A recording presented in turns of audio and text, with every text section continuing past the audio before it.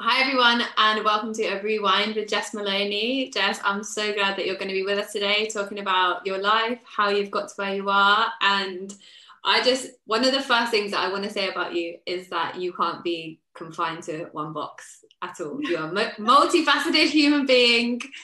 We don't need one job title with Jess Moloney because she can literally do so many things. So thank you for joining us. Um, we'll just go through basically we're basically going to rewind your life and go back to the beginning, kind of just go through how you've got to where you are today and your journey in PR and in management, and also then iStudios, which you want to talk about, obviously. Um, so, yeah, thank you for joining us. How are you? I'm good. Thanks for having me. Good. That's okay. Where are you right now? It looks like you're somewhere. So I'm actually in Antigua right now. Um, I one of my clients, well, Renell, um, she is shooting a secret project here. So I am here to, you know, manage the project. And yeah, love it. London, so it's nice. Love it. I'm happy for you that you are out of London. um, so let's basically, I feel like we should just start go right back to the beginning. Young Jess, who was she? Young Jess was very different if you'd have met me then. Um, so young, young Jess, I wanted to, so I danced um, from when I was very small. So I did ballet and contemporary. And I never wanted to be a professional dancer, but I wanted to be a dance teacher. So that's what yeah. I always thought I would do. Um, I went to a performing arts college um, because I did acting as well. I could never sing though, FYI. So I was like, that was never, never a thing. And if you ever hear me sing, I know I'm not good. Um, no so yeah, so I always wanted to to go into into dance teaching, um, and it was kind of always it. That like there was never anything else. I kind of considered the police for a minute, and then was like, no. Um, so yeah, it was That's always yeah that was and actually i applied to be a pcso when i was like 18 didn't get in yeah. um, and i think that's for the best but yeah so the police kind of always was part of something that i'd wanted to or thought i wanted to do um, but yeah so i suppose i yeah did dancing all of my kind of academic was you know, like I, I did, I was academic, but it was mainly like creative. It was dance and drama, and I did textiles and, and things like that. Um, mm. And it really was only when I was filling out my UCAS form that kind of out of nowhere, I was like, maybe I want to get into fashion.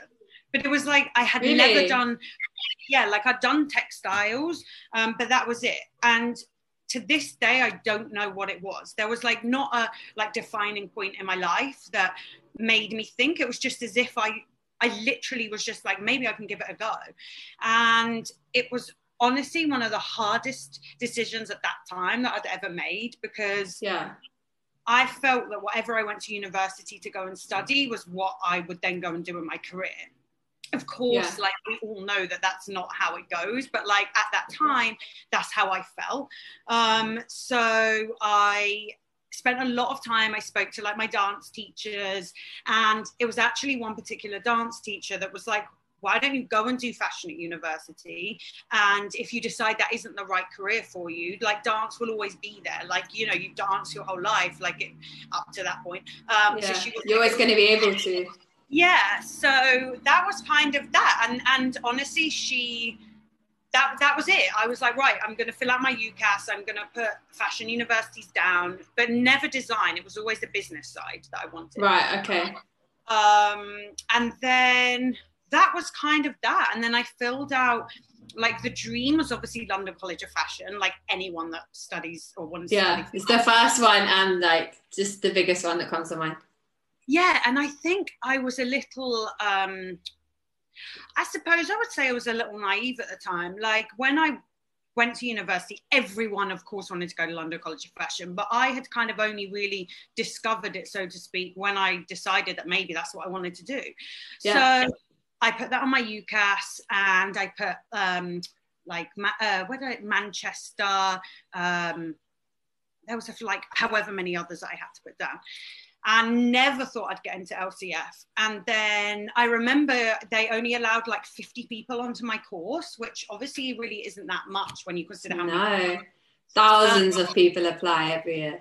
Thousands. Yeah so the course was um, the course was fashion management, um, and my specialism was in marketing. So anyway, I'll never forget the day that I went for this. Te- like you had to go and have exams, and I had to have a maths test and an English test, and I had to have a group interview.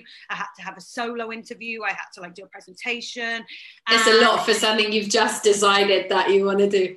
yeah, and also especially maths. Like I was kind of shit at maths, so I was like, "I'm going to do this." Anyway, like miracle of miracles. I was like shit like i got in like i got into lcf and that was the point where i was like this is it like this is what i'm going to do. So you went so you left bedford you went to london you're at london college of fashion. What did you think of i mean we don't need to touch on this on, on a lot of detail but what did you think of kind of the degree and the options it gave to you? How do you feel about uni as a whole? Truthfully like um my course i there was a lot of if you knew such and such in the industry uh, you know we were meant to be like the elite at, at lcf and yeah. you know you kind of were expected to at least know people in the industry or you've got there somehow like i don't know maybe your family's got ties to something. That was not the case. Like i didn't know anyone in fashion. My course was um, so it was basically four years. So i did an, um, a diploma in international studies so i went away for a year and I think this was the define, or this was like, again, a big point at that time in my life where I only wanted to go and work for Levi's in Brussels because their European head office is there. So yeah. I was like, that's it. I don't want to apply for anything else. And my uni were like, you basically aren't going to get it. They said that outright to me. They were like, you will not get this internship. Like, you don't have, I mean, I'd had experience, I'd done internships fifth prior. Um, but they yeah. were like, you know, you kind of don't have enough to warrant you getting this. You must apply for more. And I was like, I'm not doing it. Like, I will get this and I will show you. And I got it. I got this internship. Yes. The university were like, oh, um, so off I went to Brussels. Um, very interesting place to live, but I'm very glad that I did it. And I, I learned a lot from doing that internship. And it was the first role that I had. So I, because I didn't know anyone in fashion, um, basically every holiday, like whether it was Christmas or Easter or summer, I internship, I intern, sorry. So yeah. I, and at that point, I didn't really know, like, yes, I was specializing in marketing, but like, was that it? Like, I didn't know whether I wanted to kind of go magazine side, whether at one point I was like, maybe styling's what I want to do. So I made sure that I got internships at every place. I went to magazines, I did stylist, like I did all of this experience so I could see where I wanted to be. Yeah, and I think that's so important. Yeah, and like I realized after doing an internship with a magazine, it personally, I, I was like, I can't see myself doing this. Stylist, props to you because I was like, this is not for me. I, I, I interned with a really amazing stylist and I'm be forever grateful for for working with him and I learned a lot but it yeah, that's that's something that I, I definitely wasn't wasn't cut for. So when I got the Levi's position and it was solely marketing, I was like, this is it. Like that was when I was yeah. like, okay, fine. Like I'm meant to be here. This is great. Um, so I did that. And then I was like, right, I need another internship. And this was, I suppose, a bit that really changed the path of my life, honestly. Um, I got an internship at Vivienne Westwood. Again, Amazing. the university had never ever managed to get an internship, and that was me. I just emailed them. I was like, I'm gonna just email. I really wanted to work. Yeah, I'm gonna just send this email. I was like, let's go. So, um, so yeah, so I basically got an internship with Vivienne Westwood, and it that was honestly, I it's the best thing like that had happened. Like it was just incredible. Like to get that internship yeah. to work there. Um, yeah, it was it was really really truly incredible. Amazing. From Vivienne Westwood, how did your journey? You started kind of in PR, right? You started in fashion yes, PR. So from, how did that yeah. kind of develop? So it was marketing and PR. So yes, yeah, so I suppose Levi's I did the marketing, and and Vivienne Westwood was in the PR office that internship. Um, so left Vivienne Westwood, um, finished my my degree at university, and I then I got my job before I graduated. So I applied. It was the beginning of the year that I was graduating, and I thought if I wait and I start looking for jobs when everyone's graduated, you're in a pool of like all of these people. Yeah. So I was like, I'm gonna try and find a job. So I did. I basically got a job. My first job was working at Ellesse, the sports yeah. brand, and I was there for two years. So it was really like, you know, it was. I graduated handed my dissertation in on the Friday, and I started my new job on the Monday at 9 a.m. That's crazy. but so you, it sounds. And then I got, whilst I was at Ellesse, I had a phone call from Vivienne Westwood team, the PR team, where they had a PR position coming, you know, becoming open, and did I want to interview for it? So of course I went for interview, and, and I got it. So again, that was from the fact that I'd interned, that they'd remembered, and I'd stayed friends with the my bosses at the when who were my bosses, you know, when I was yeah. Um, so yeah, this job came up. They put me forward, and I got it. So off I went back to Vivienne Westwood, but as a, like a paid em- employer, and it yeah. That you were so happy walking back in that day because you know that you've already done the work, you're familiar with maybe if the team was similar, then you're yeah. familiar with the team and kind of how they function, but you've kind of like earned your slot. So yeah. it felt really good walking walking oh my God, into Vivienne Westwood that day. Oh my God, uh, like truly, it was I owe everything to like that job that I had at Vivienne Westwood. So how do you go from there at Vivienne Westwood to working by yourself or for yourself in management and as a director? So I um I knew I didn't want to live in the UK. It was like always America, America. So when I was at Vivienne Westwood, they had um, offices just in LA at that time. New York hadn't opened. And right. So I'd been there for a number of years at that point, and potentially there was like the opportunity for me to go to LA. And devastatingly at the time, it never worked out. And that was kind of the kick that I had where I was like, right, I, I, there was nothing wrong at Vivienne Westwood. Like I loved the job, I loved yeah. the people, I loved the work I was doing, but I was like, I can't move anywhere. And like I say, I was still, still, I was quite young, and I was like, I'm, I'm someone that's constantly hungry. Like I'm looking for the next thing. So yeah. I then was like, fuck, like where do I go? Laura, who you know, my boss, like I just said, Laura wasn't, you know, wasn't going anywhere. Um, so I was like, I can't really grow here.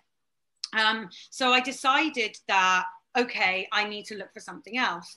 And then my next step, because at that time I'd started working with talent, like with celebrities, yeah, uh, and dressing them, and of course working at somewhere like Vivienne Westwood opened a lot of a lot of those doors, and I, I made incredible contacts.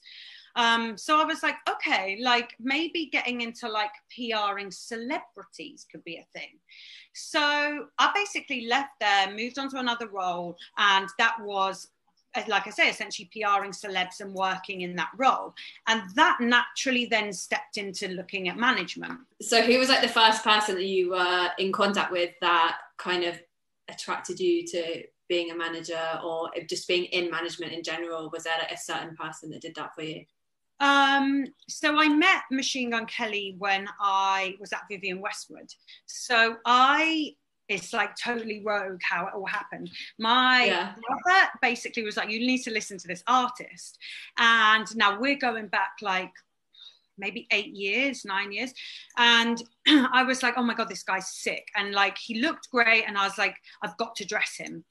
So obviously, like I say, it's when I was at Vivienne Westwood. So I found this random email that honestly I couldn't even tell you who it was at the time. I found this email and I was just like, hey, like I work at Westwood. I really like, you know, Machine Gun Kelly's music. Um, let me know if you're ever in London or if I can dress, you know, dress him for anything. And that was really it. He then came to London. I met him and his team and it kind of like kickstarted that relationship. And we just kind of stayed we became friends. Like i dressed him for things but like uh, when i left vivienne westwood we kind of stayed in contact. And then his management team were like hey like we want to get him into the fashion scene more.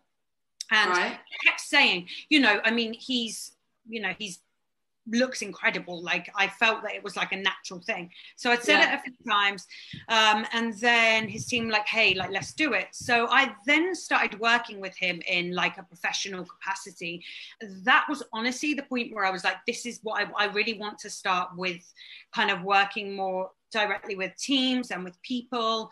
Um, and Kells kind of came with me for you know a few other companies that I went to, and then when I started on my own, um, Kells was was there. Him and his team have always been like incredibly supportive. I made you know a lot of contacts. Like I say, I mean it's like the job that kind of was the one for me. Um, yeah, set you up. Made, yeah, and I, I did. I made a lot of US contacts from from working at Westwood. So that carried you through when you got there.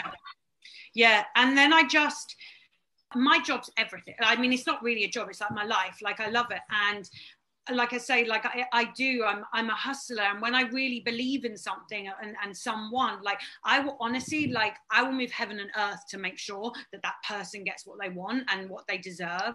Um, because ultimately i think that is what makes a good manager um, is somebody that but if you don't believe in the person that you're working with it will never work and yeah.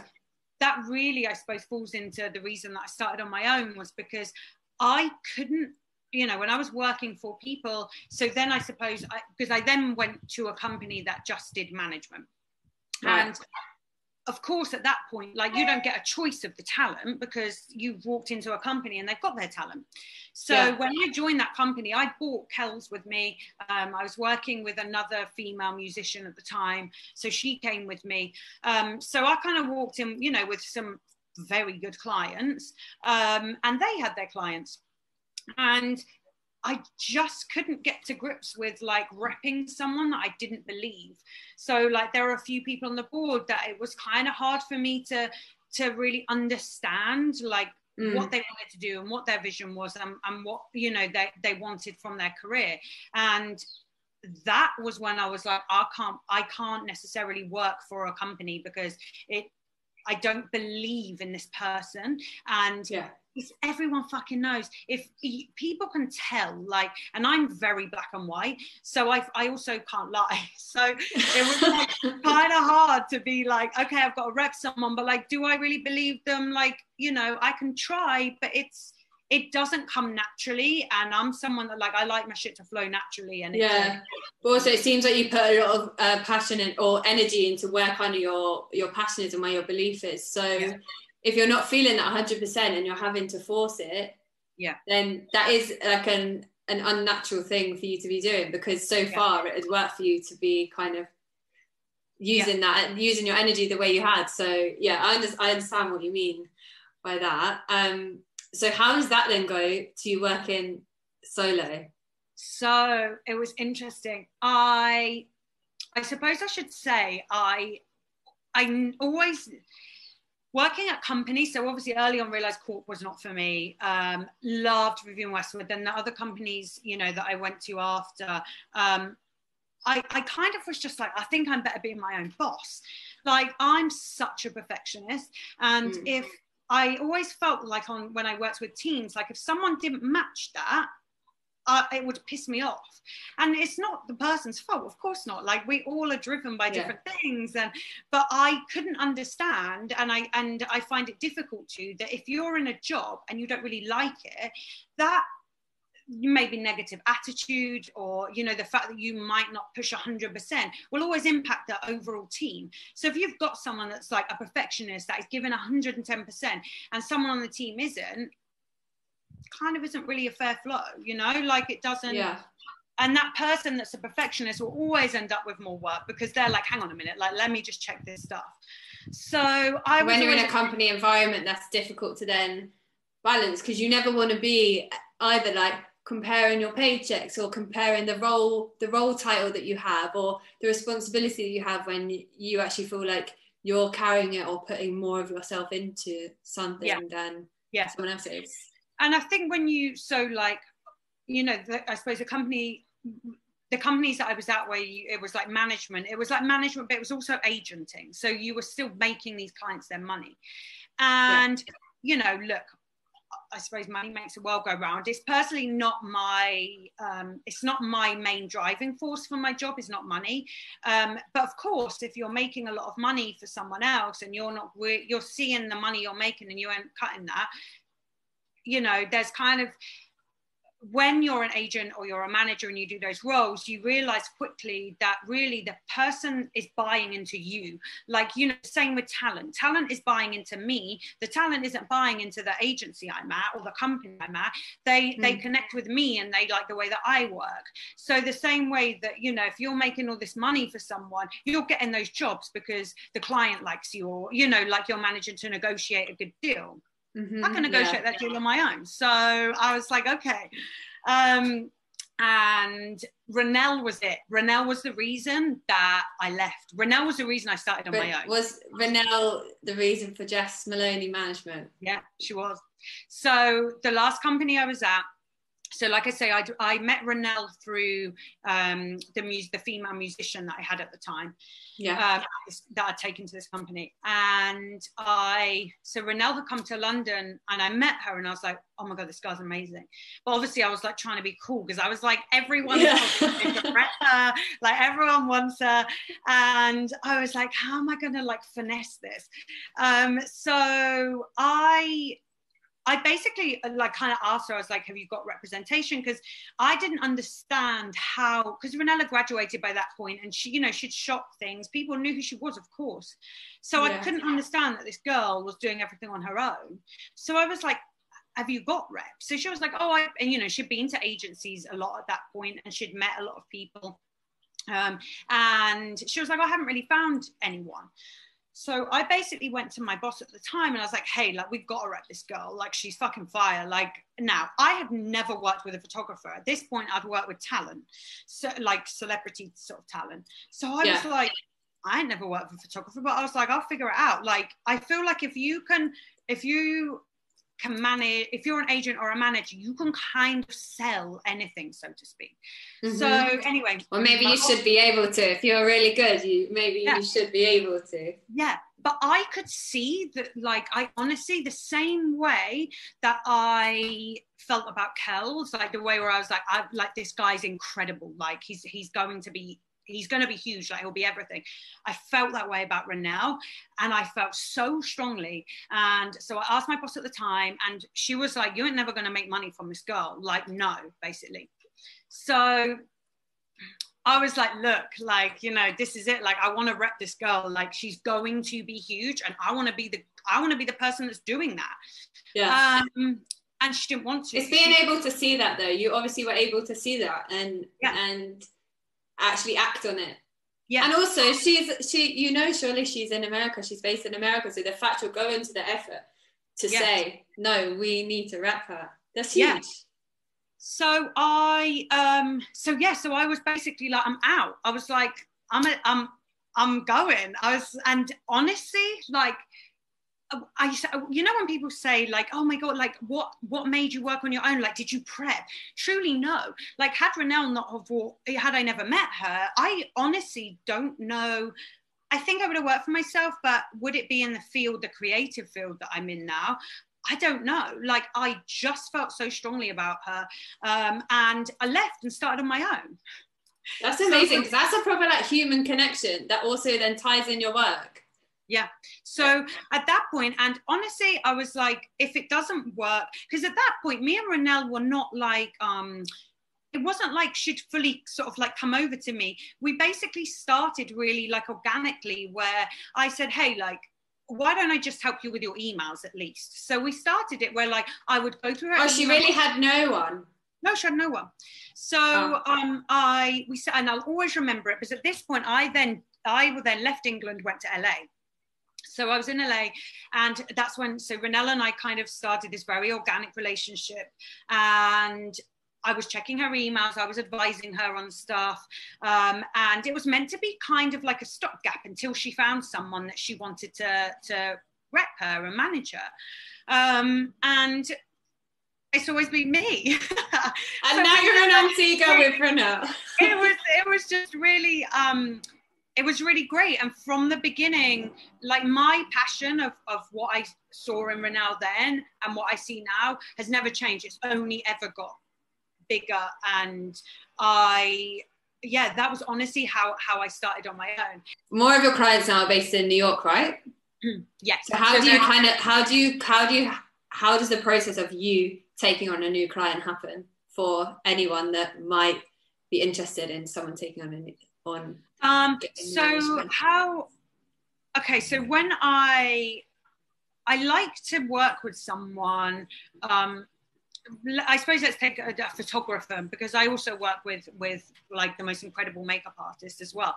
Um, like when I think for photography particularly, like I like to work or I see something in them before there's a point where you know that they're gonna like hit it, like and it's gonna like blow the you know like their work's gonna fucking go everywhere. Yeah. And any any i think any good agent any good manager of anyone it doesn't necessarily need to be a creative um, can see the point that they're gonna that that person's gonna get to and i want to get i like to get someone before they hit that point because you can see like you can see how their work is you can kind of see their eye um, you know it's, it's it's really not necessarily about who they've shot with or for it's really like you can just tell when you look at their work um, that maybe like a little you know guidance and some, you know, kind of steering of what they should do um, will help them get to that point where they're then getting like the big deals and you know. Shooting. Well, yeah, because like even going back to what you were saying about um, London College of Fashion, like, some of this will always be how it is. Some of the most talented people will need at some point a contact or someone to fall kind of into their life or just something to happen which does push them in the direction that then makes them just like skyrocket. And then yeah. some people that, you know, they don't have as much drive, but they do have contacts, so they are born into that environment. Like those things might happen for them early on, but whether that can be sustained is kind of a different story. Yeah, and you know what, like you know those people that have that are fortunate that have family in places or you know maybe they have the financial ability to get to places quicker than than the normal person.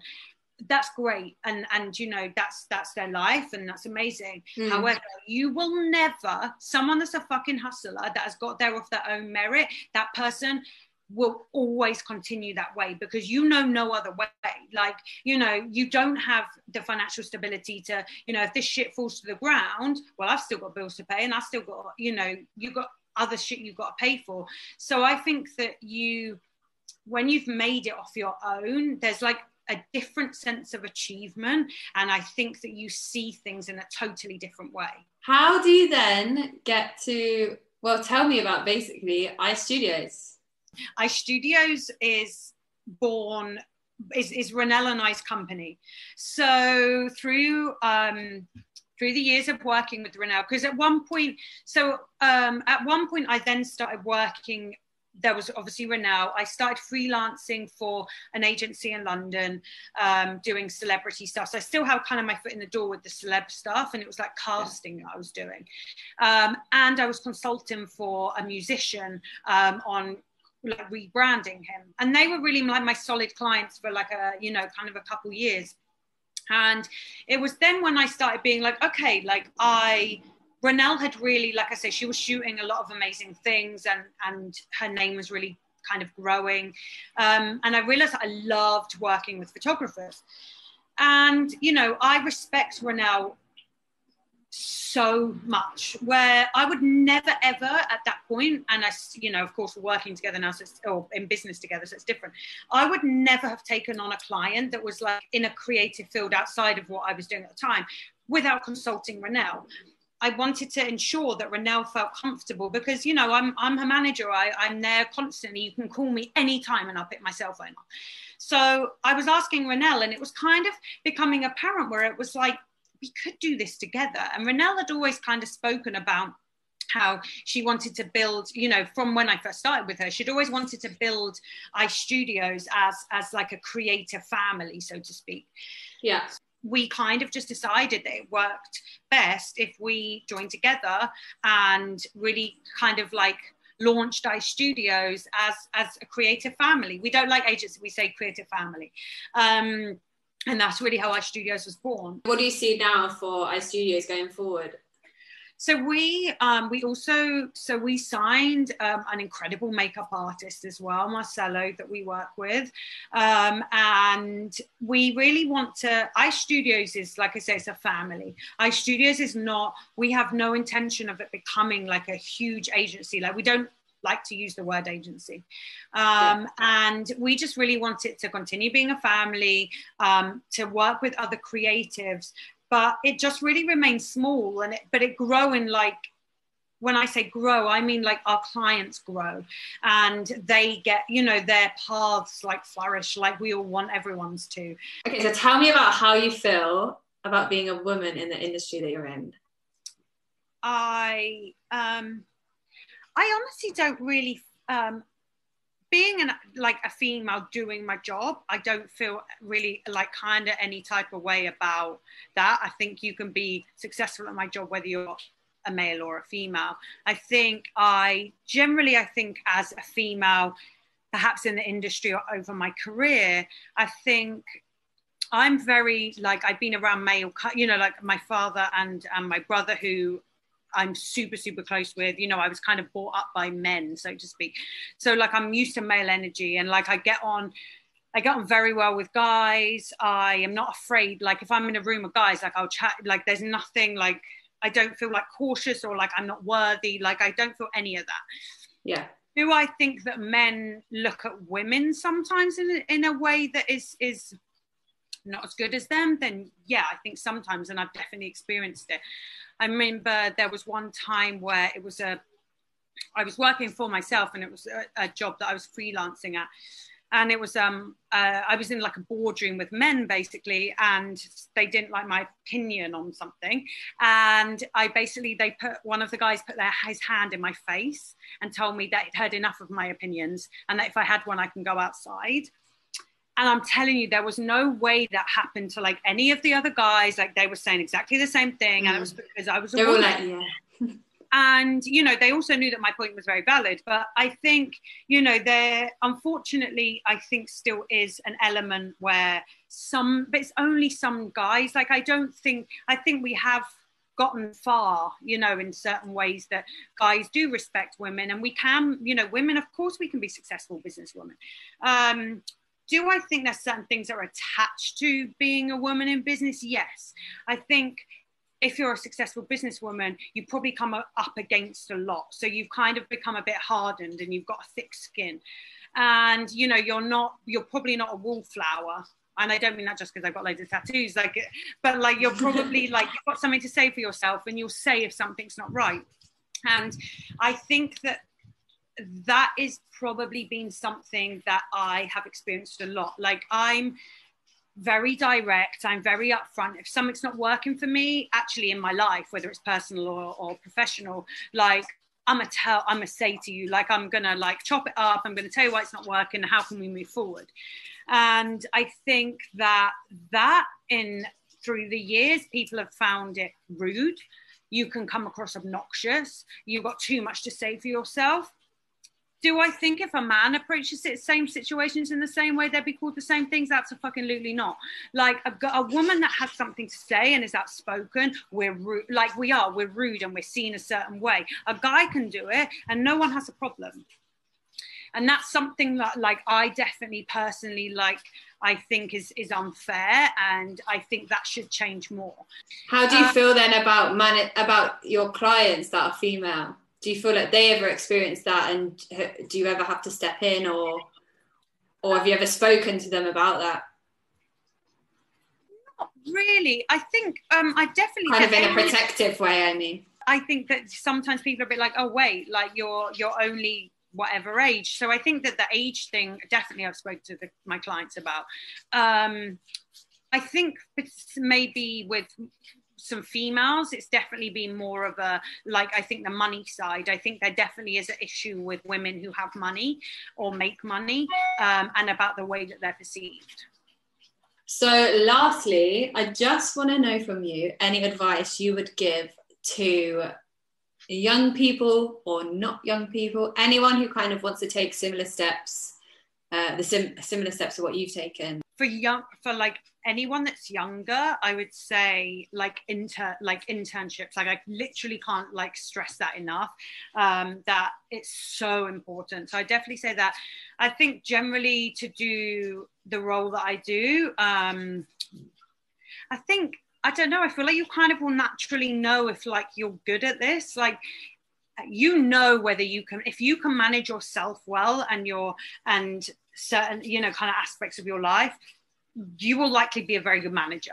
Um, and you just, it's honestly a lot of it as well is common sense. Yes, there's other parts, um, but it is common sense. And really, you have to be someone that you can put someone else in front of you. So, like I say, you know, my my clients will ultimately always come first than before me. So like their needs and their wishes will always come before myself. Um, and I think if you're somebody that can do that and you're fine with that, then yeah, I feel like this this role would be would work for you. Amazing. Well. I feel like trust, trust your gut. I feel like I feel like I kind of dipped around at the beginning a bit until I kind of found um, what I, you know, what I'm doing now.